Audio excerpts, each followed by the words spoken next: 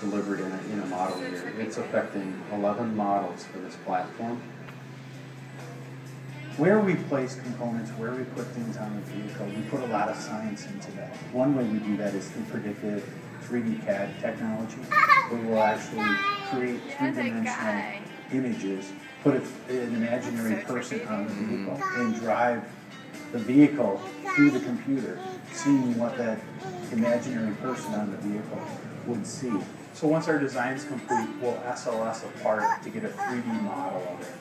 So we'll send the file downstairs to our lab and we make an SLS part overnight. The very next day we'll have the 3D solid of what was just designed on CAD.